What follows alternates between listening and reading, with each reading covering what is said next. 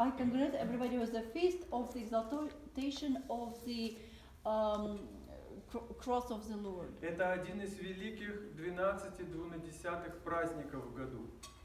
It is one of the 12 great uh, feasts uh, of the year. И в этот день мы особым образом почитаем крест Господень, Его страдания, Его распятие и смерть Христа. And on this day, we have a special commemoration and veneration of his uh, passion and, and, uh, and death on the cross. И как с вами мы должны праздновать, как мы должны проходить эти святые дни. And what is the best way for us to celebrate, to uh, live through those uh, h- uh, holy days? Слово праздник происходит от слова праздность. The word holy day in Russian means um, to do nothing. Это значит, что мы с вами не должны заниматься никакими посторонними делами, оставаться без дел в праздности.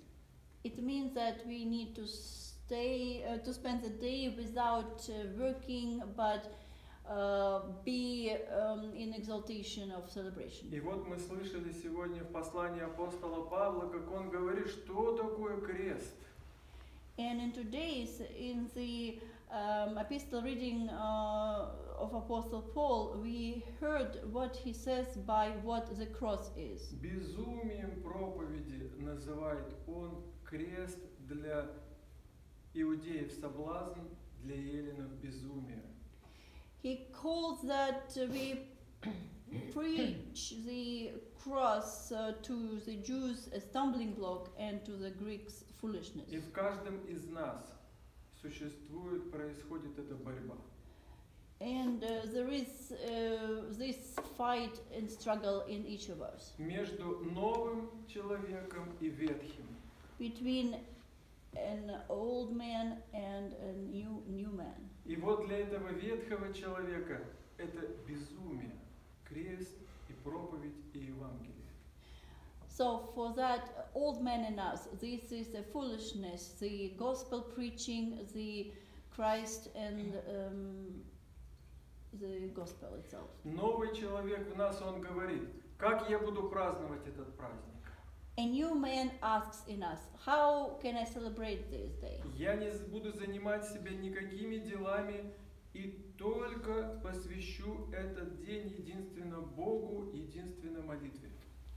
I will not be occupied with any businesses or things during the day, but only spend the day devoted towards God and praying. Но ветхий человек говорит, что это за безумие? But an old man says in us, what the foolishness is it? Столько дел нужно сделать полезных, и этот день он будет потерян, пройдет даром, если я так поступлю. There are so many useful and good uh, things uh, to be done, and uh, you cannot just waste the day without anything doing. Вот как рассуждает ветхий человек. Для него молитва, для него пребывание с Богом – это потеря дня. That's what an old man thinks that uh, spending time and day with God through praying is a waste of time.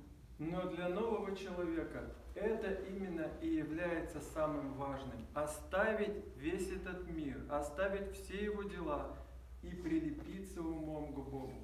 But for a new man, this is this means to leave all the things, to leave the world and attach attach your mind and heart towards God. И вот кто победит в нас, этот ветхий человек или новый, от этого будет зависеть наше духовное преуспеяние.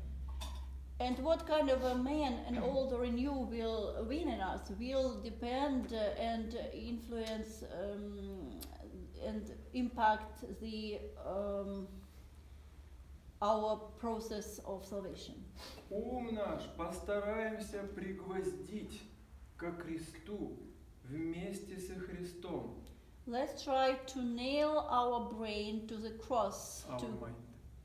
our mind uh, uh, to the cross with Christ, Чтобы он весь день пребывал в ранах гвоздиных, там, и где копием было, были прободены.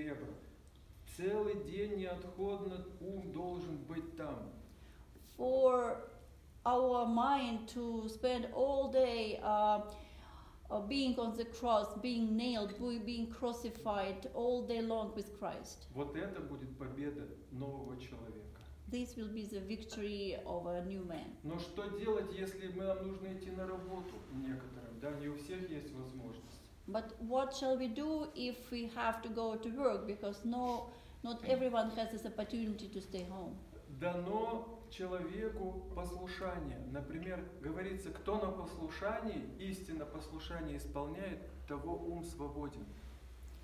A man um, has given um, послушай- послушание? Обитель. obedience. Uh, so if you truly follow the obedience, then your mind is free of Так в anything. монастыре говорят, невозможно человеку заниматься молитвой, если он не находится в послушании.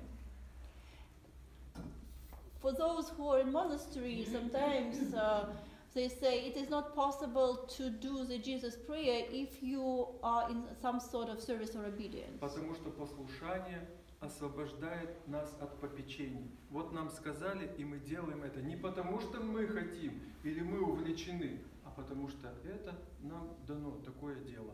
И оно позволяет нам молиться, оставлять ум праздным, заниматься духовным. Because obedience frees us uh, from doing what we uh, should be doing and what we have been told to do, and we don't care about the tasks. We just do it automatically, and our mind is free to be praying. Так вот, если нужно кому идти на работу, насколько это возможно, относитесь к своей работе как к послушанию. So, but if you have to go to work, uh, treat that uh, thing as obedience.